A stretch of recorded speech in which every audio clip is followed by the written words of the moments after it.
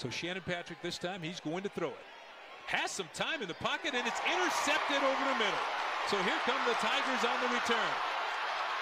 Across the 30, to the 20, down to the 15. It's Shilo Sanders, one man to beat, and Shilo almost takes it all the way back for the touchdown. So a huge interception. That's the danger of trying to make something happen. We mentioned 45 seconds to go in a half. You're trailing 14 to 9. It's it's it's it's a gamble. It's a roll of the dice. You try to get too much, then something like this happens. Shilo Sanders on the return, and he almost took it to the house.